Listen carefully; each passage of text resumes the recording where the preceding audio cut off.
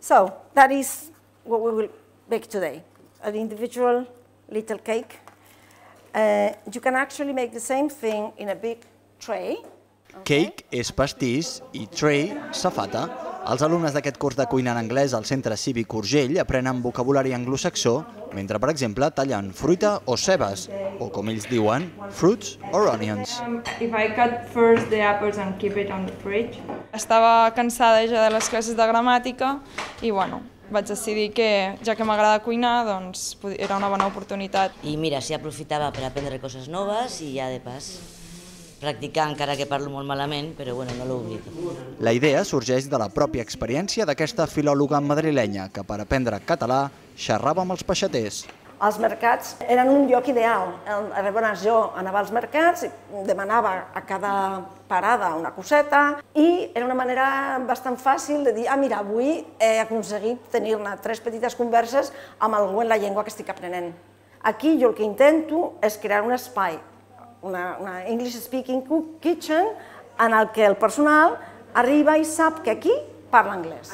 Aquest és un exemple de com aprendre anglès també fora de les aules, però hi ha moltes altres maneres. Aquí un grup de persones de diferents països s'han posat en contacte a través d'un portal d'internet i han quedat per jugar a jocs de taula.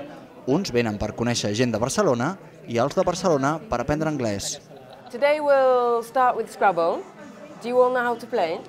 Aquest grup en particular juga a Scrabble i, és clar, el canadenc té avantatge. You say that, but I'm not winning. Això ho dius tu, però no estic guanyant. Uh, Soc bastant dolent a l'Scrabble. Ha posat una paraula que no coneixia ningú i vull dir, no sé si és perquè també tenen localismes, no? però a més és una paraula que ha explicat que és com mitològica. És avui que necessites anglès, no? No, no, no demà. Doncs fem coses molt pràctics i jugar és una bona manera de, de perdre el por. I a l'Escola de Manualitats Roses Craft, des de l'octubre, els seus cursos de costura i punt també s'imparteixen en la llengua vehicular per excel·lència. To do the rib stitch, which is called in Spanish, punto elástico. Es más fácil asimilar eh, tu entorno en inglés cuando aquello que, que, que estás haciendo te seduce, te és familiar i te és divertido. Són propostes alternatives a les habituals classes d'anglès que demostren que a Barcelona la immersió lingüística es pot viure sense sortir de la ciutat. Espera, torno enrere.